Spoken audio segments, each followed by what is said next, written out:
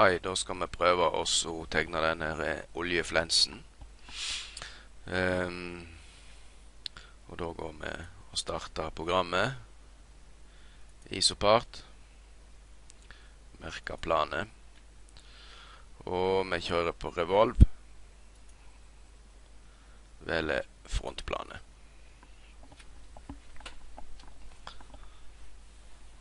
Så må vi inn på um, Se hva som sto på den her. eh. Da kan vi godt zoome inn, så vi ser litt på den her oppe her. Så vi skal halve den her med oss, så vi prøver å tegne tegne halvparten av den her og få med de mesteparten av detaljene. Der.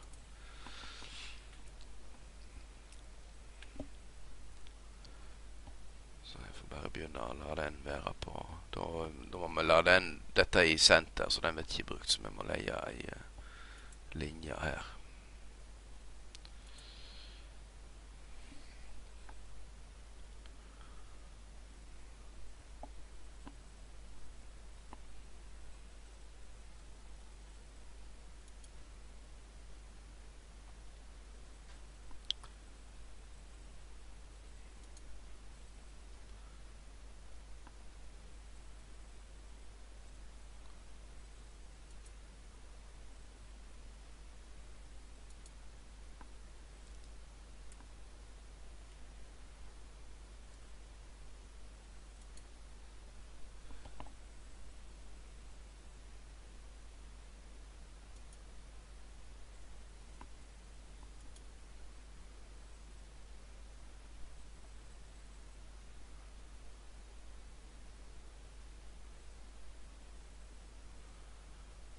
Se at jeg får ei stipla linje mellom disse når jeg får de sammen.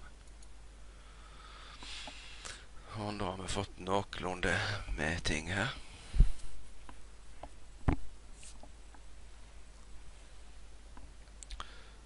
Vi tar og eh, connecter den her. eh.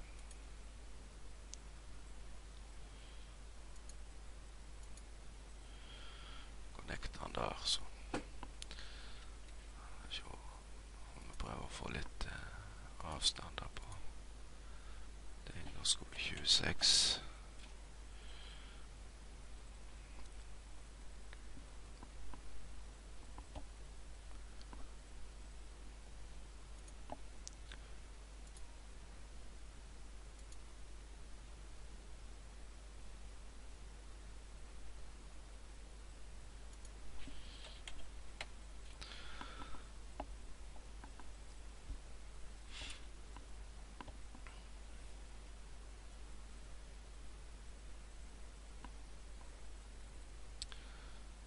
Ja, den skulle være f- 4,35.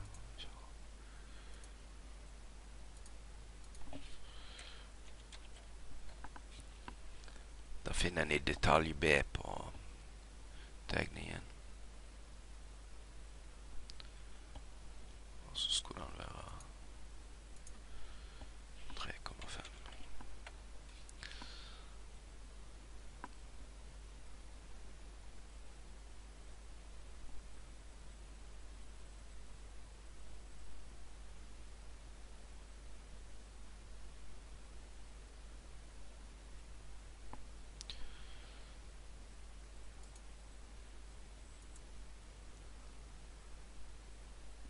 Da eh, må vi få avstanden på plass her. Den skulle være 55.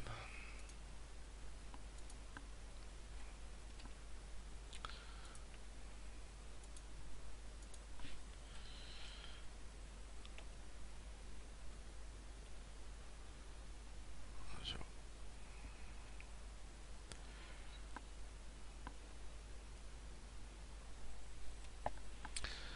Må ha litt diameter, da.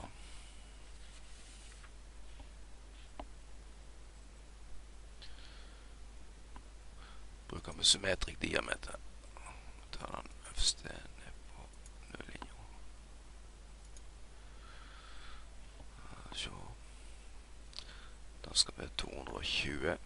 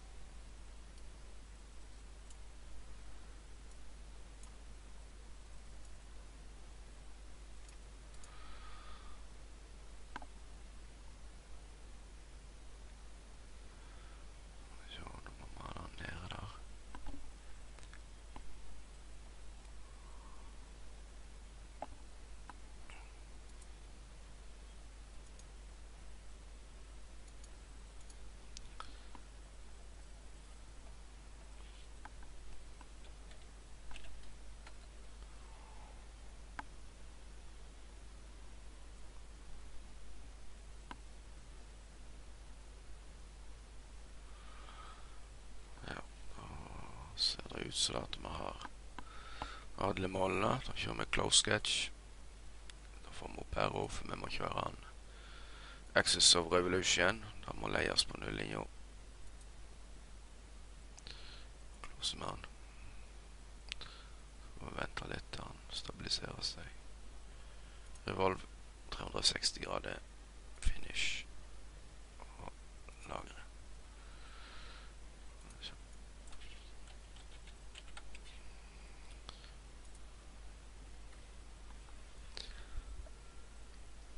Må vi få eh, lagt her, skal vi se. Det skal være to og en halv på utsida der. Nei, 2,5.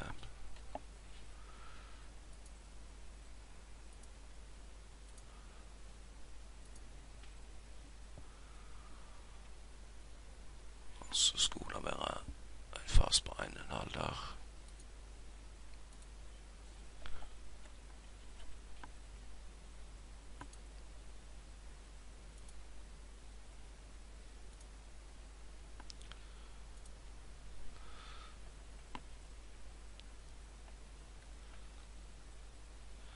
Så skulle alle disse her inni, de skulle være fire det skal være en radius på 0,5 inni der, skal vi se. Da må vi ta round. Da står han på 0,5. Så skal den, den, den. De fire skal merkes. Lagre med han. Skal vi se. Da tror vi vi har det, så skal vi der, men da må vi Kontroll i. Da skal vi altså få lagt noen um, Vi må lage noen spor inni den her. Bare for å få inn de um, uh, sporene så skal vi inn i den. Gå på Protus igjen, så går vi inn i Select Edit-profil. Så må vi leie inn um, de som, Den som er her, de to fasene, eller den, de to innskjæringene.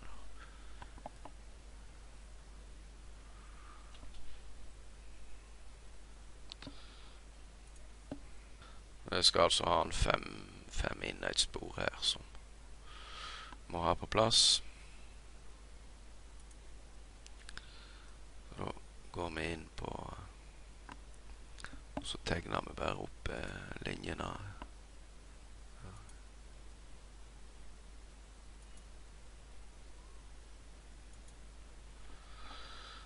Escape. Og så går jeg inn på noe som heter trim corner. Tar vi den mot der. Og så tar vi den mot der. Da fikk vi justert inn den der. Skal vi se Da eh, Der står 53 nå, men da må vi se målet vårt. Der er den. Delete det målet der.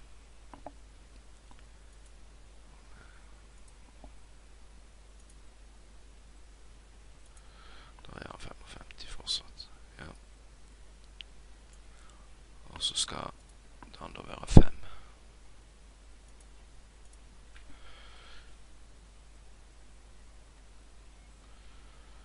Sånn. Og så må man ha en diameter opp.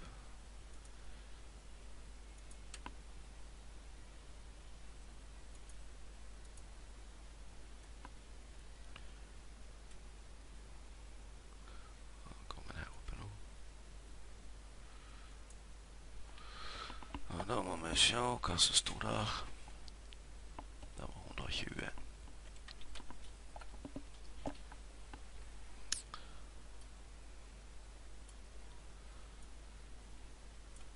Sånn, og så skal vi ha en til. Inn og se på tegningen, hva som sto der. Da er det den eh, som er her. Nå må vi opp i detaljene. Den skal være 9,4 ifra kanten inn. Uh, vi se. Og da kan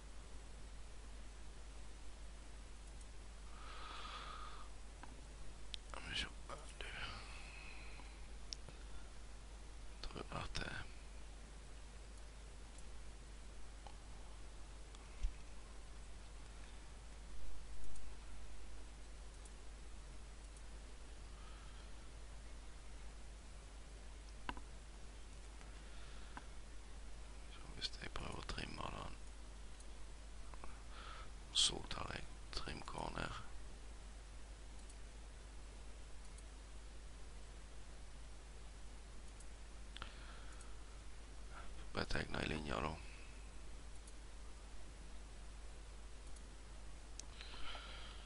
Sånn. Da gikk han jo med på det. Da har vi fått den opp. Og så skal vi ha 9,4 bort.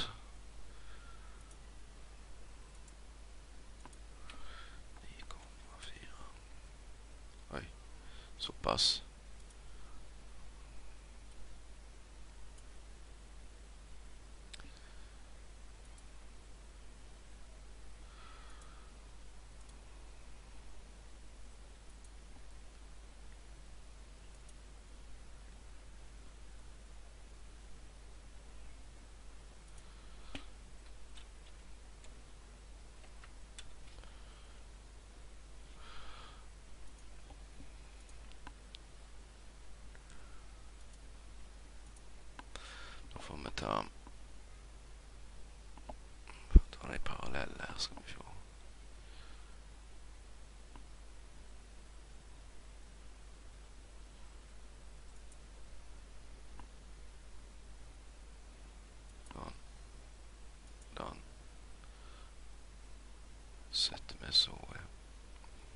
Less.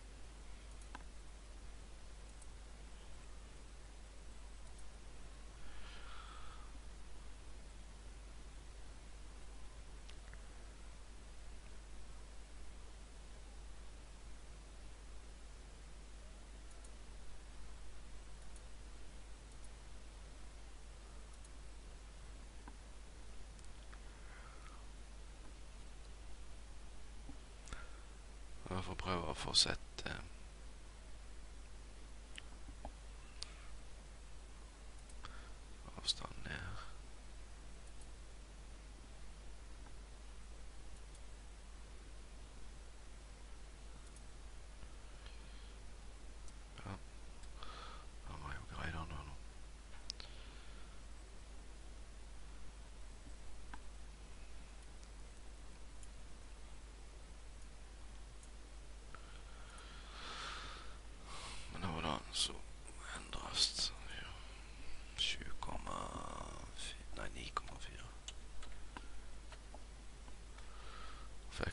hørte han til med å ikke krølle seg.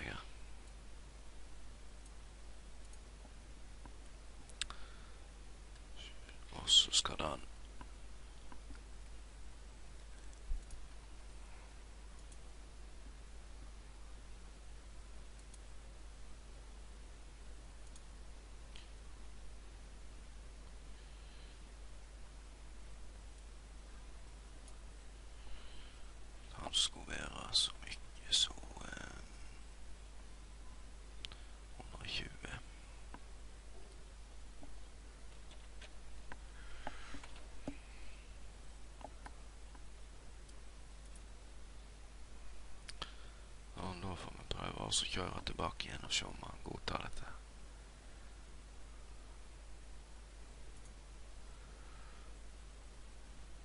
Finish og lagre. Nå har vi fått spor der, og vi har fått spor inni.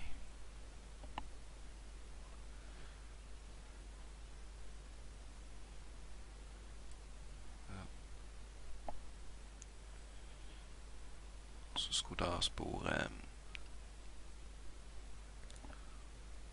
inni der en eh, i botten være radius 5 i botten på den der. Inn. Jump around. Den skal være 0,5.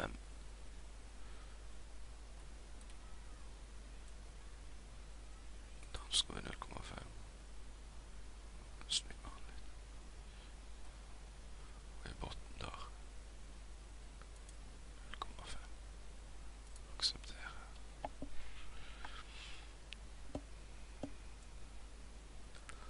Lagre. Sånn. Da ha med en runding ute på Dan. Så Dan skulle være fem. Fem og enter. Legger man på der. Aksepterer han og lagrer. Nå ser det ut som det begynner å vette influens, dette her. Da har vi hullene igjen. Kontroll i. Da er det lurt at en går på sketch. Så velger vi planet som vi skal sette hullet på. Så finner vi en sirkel. Setter vi den i senter. Og så er vi inne og ser på tegningen, og der står det at det skal bollsirkeldiameteren er 180. Slår vi inn 180. Så fikk vi den opp. Så closer vi den bare. Finish og lagre. For da har vi plassert eh, bollsirkeldiameter. Så skal vi ha hull. Og de skulle være åtte stykker på Ø18.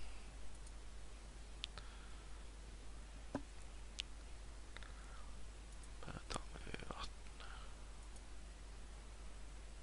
Og vi tar Truvoll, så var OK. Det er den samme plassen som vi setter den på i stad. Zoome inn litt. Grann.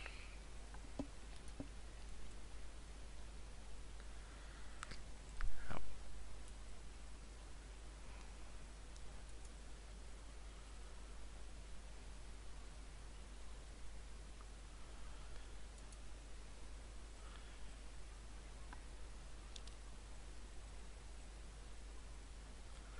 Prøver nå et visst system på disse. Vi skal jo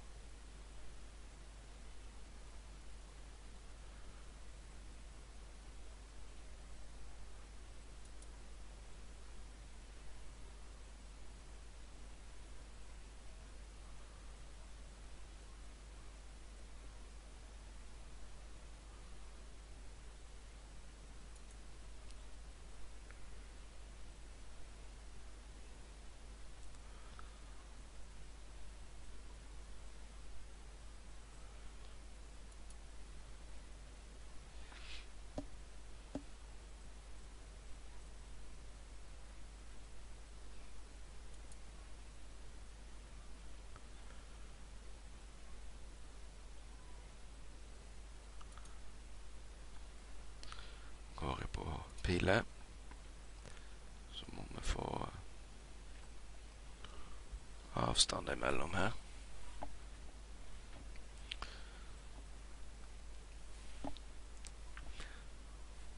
Sekstiåtte komma ni skal det være imellom. Distance between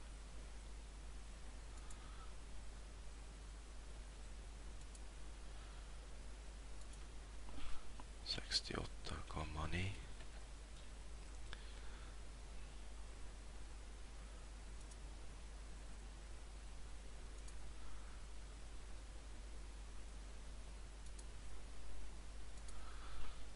Sekstiåtte komma ni.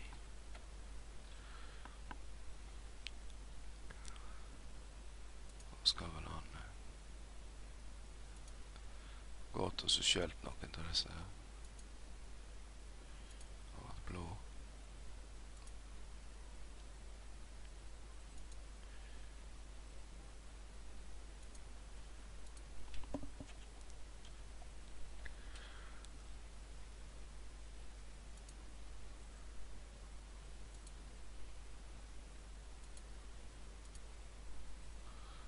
Ja. Det Går ikke helt opp på alle, men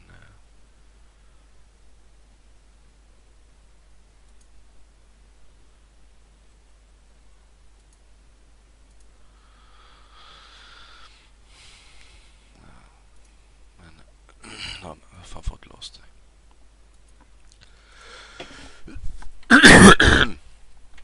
Sånn, da kjører vi close. Lagt igjennom. Og finish. Og lagre. Så skal de fases på begge sider 0,5. Kamfer 0,5. Skal holde leies der.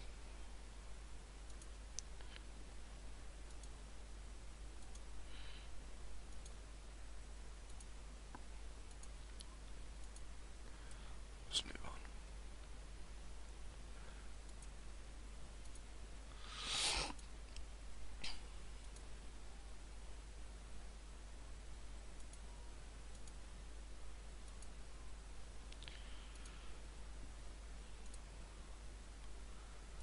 Sånn.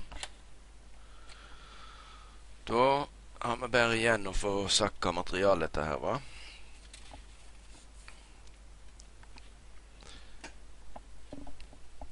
Litt mer inn.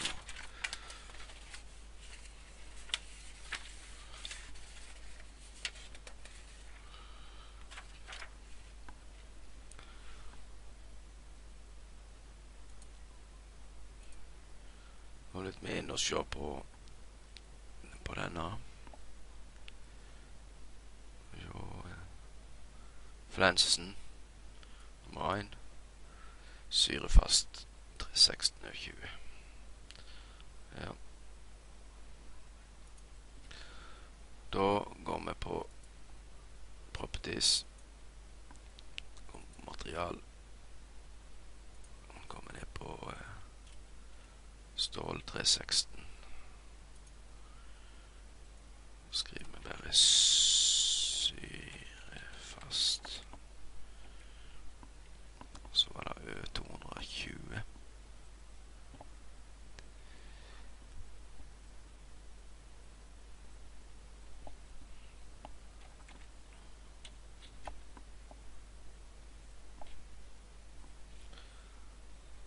Ja, ta litt for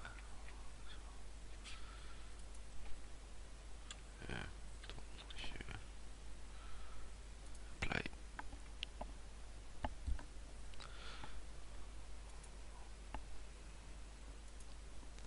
File properties. Og den heter oljeflens. OK. Lagre. Sånn. Da er den ferdig, så vi kan bruke den til sammenstilling og.